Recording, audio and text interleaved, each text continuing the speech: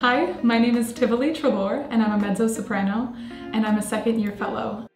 Music Academy provides you with a very unique set of skills because it's not just focused on your instrument or on the sounds that you're making, it's about you as a holistic artist.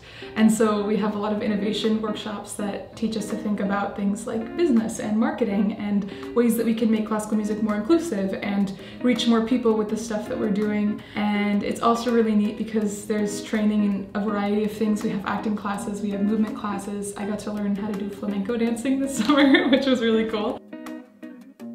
It's really nice to have all of those skills because that's how you market yourself as a 21st century musician.